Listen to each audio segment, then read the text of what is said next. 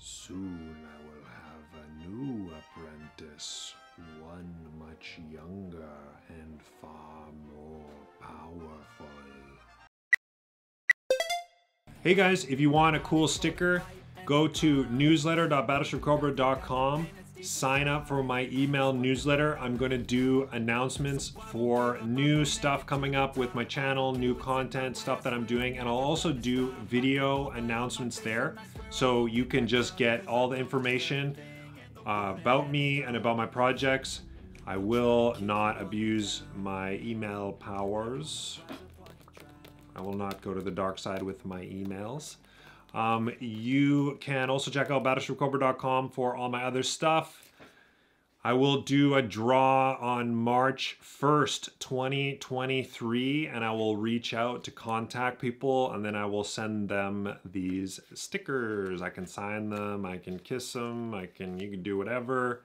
Um, you can stick them to your laptops. They're very cool that's it. Today I'm going to cover a little problem where people want to import information into UDTs, but you can't. So this is the method to do it that I use anyways. Um, you will have to register the UDT as a UDO, and I'll show you how to create your user-defined table as an object, and then how to create your template, and then actually how to import information into that template.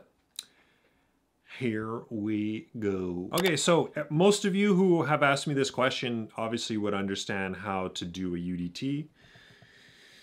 So let's make a UDT first. Tools. User defined tables. Remember, you can't do this while people are in the system or you have to kick everybody out. Or you have to do this after hours. But you need to store some data table, like some data in a table. Um, you go to user defined tables. I'm just gonna make a new one called example and we'll just call it video example. The difference here is you need to set an object type of master data. You can't just leave it blank. We're gonna, we're gonna actually do this so that we can import a lot of data in here. So you can turn this into a real object and you can actually uh, generate the templates in the DTW and you can import them. Okay, and we're going to add it here, update, do its thing. Boom. So the table is in there, but it is kind of sort of at this point of an invisible table because it's a master data type. It's waiting to be turned into an object. So now that we have that UDT created, we're going to add one UDF just to give you a good example because most people will be adding a UDF. You add the user defined field, the user defined field, the same way as you add a normal user defined field. And we go here, user tables, uh, video example, add. We're just going to add the field as number, some number, whatever you want to store it as, as number, and that's it. It's all, you can add as many as you want. Now that you have your UDF with your UDT on it, we are going to register it as a real object tools, customization tools, objects, all this stuff you have to do with nobody in the system. Just keep that in mind. Uh, otherwise, you're going to be kicking everybody out. Add new object. I'm just going to call this example. Um, you you can't put a space in here. I don't know if it's a bug that's been fixed, um, but every time I go to do this and do the importing, if you put a space in here like that, it will just fail and it won't say, hey, Mike, it failed because there's a space in the name. It'll just give you some random error message and it just will make you really mad for no reason. So just leave no space in there. We can change this later and I'll kind of, it doesn't really make that much of a difference, but um, I'll show you. So you go type, master data, because we set the UDT as a master data type table name, example. Next. Uh, settings, I don't usually mess with this too much. Delete, add, update, those usually are fine. I, You can experiment more with these, I'm not going to. Default form, I do it as a matrix style, which is just like a spreadsheet looking thing. Menu, because we want to actually put it into the menu structure. Um, just It just makes it easier, and it's actually pretty nice for users to be able to edit it that way. And um, so I'll just do video example. Doesn't have to, it can have a space here for whatever reason. This doesn't make a difference. Um, parent item ID, I'm just gonna put it in here, setup, general. Then I'm going to place it at the bottom, click next. Um, I'm going to do the name. So these are the columns we want. So name, code name, you can change the name and all, you can change the names and stuff. I'm to add code, name, and then I'll add my some number UDF. And then that's it. Finish. It's going to register it. Again, don't do this while people are on. It will kick them off. You need to do it outside of your normal business hours or kick everybody off or you're doing it in pre-production. And uh, make sure you back up your database before you do this. Modules, administration, setup, general, video example, boom. So we have a simple thing. You can see that this, there's no space here, but again, you have to just kind of do it that way for now. You can change it later. Okay, so we're gonna run this. We're gonna run here, more, run as administration, that's your DTW, administration. Um, I have the new one that's like brand spanking new uh, V10, so it's a little bit different here. Not private, just continue. It's just more like a web login. Uh, so I'm going to log into this one. I'm going to choose manager and my super secret password, log in. So once you have created that and you're logged in, make sure you run uh, the DTW as administrator templates, generate UDO templates. Now you want UDO, you want to clear it all and find your specific one. So here's mine, UDO example, generate the template, template, template. Templates were generated successfully. You can see C programs, blah, blah, blah, blah, blah. You can go right here. I already have this open, templates. User defined data. In your templates ready, UDO, demo template, UDO example, and example. So we're gonna open this one. I actually have it on the desktop already. So I open that up. And then, so you'll see, I put this information in, it'll just be here with no uh, information. I just added a little bit of information already, uh, just to make it easy. So the code, it's the way that I have set up, it's not auto incrementing and you have to manage the codes yourself. So I just made it as 2023 02, whatever. You can make these as whatever you want. The name doesn't need to be unique. You're gonna see that you have a string of length 50, length 100, and then you're gonna see that it's a decimal basically. So I'm just gonna set any sort of information here. So you could do this with thousands of records or whatever you wanna store in that information, in that uh, UDT. And um, you'll be able to use it, this, the UDT exactly the same way, even though it's registered as a UDO.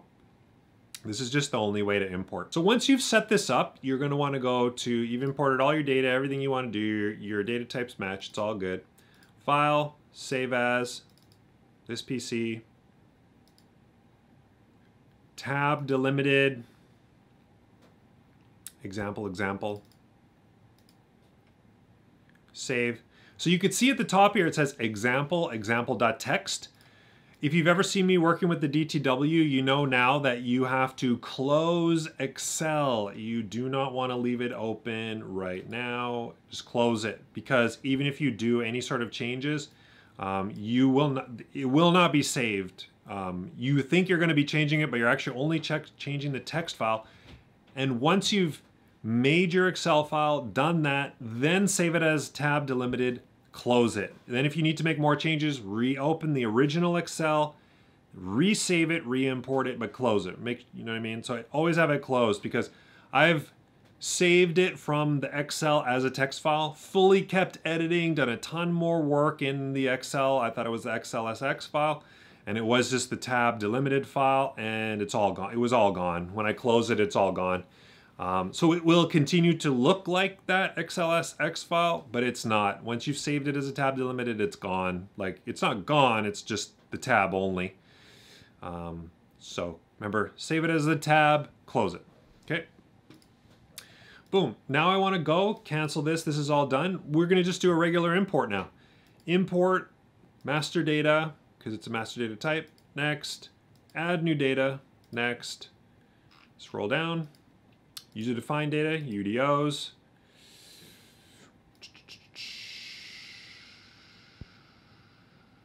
Example, next, my file, example, boom, next. See how it's mapped properly because it was generated out of the UD, uh, out of the DTW. You can see the source data tab, tab data, everything. Run the simulation. You're doing all your same normal stuff. Boom. You can do this in update mode too. Next. Boom, import. Perfect, that's what you wanna see, very straightforward.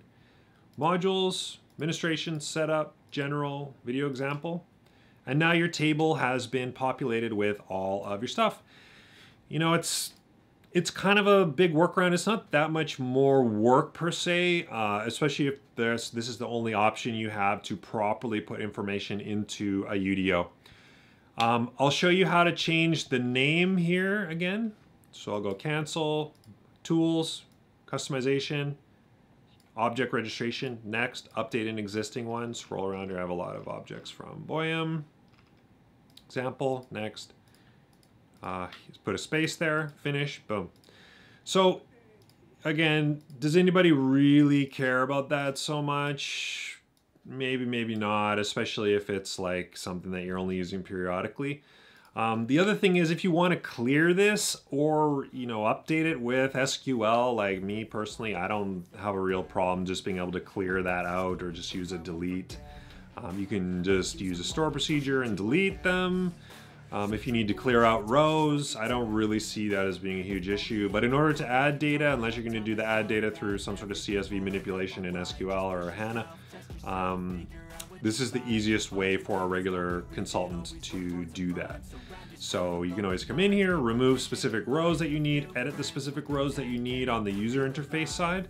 Uh, but to get the bulk of the information in, you can just use that DTW process I just showed you. Thank you guys very much. Remember, if you want one of these cool stickers, go to newsletter.battleshipcobra.com and sign up. I'm gonna do my email notification for new videos, new projects, new stuff I'm working on. I'm gonna be doing some stuff outside of YouTube. I'm planning on it anyway, so uh, I'm gonna draw March 1st, 2023 in order to get one of these four stickers and then I will send it at my expense to you wherever you are in the world. So hopefully it's not that expensive where it's going, but it's just a letter. Hopefully they don't bend it in half. Uh, we'll see how it goes. Uh, thank you so much for watching. Check out battleshipcobra.com, my website for all sorts of other stuff. Thank you so much. See you later.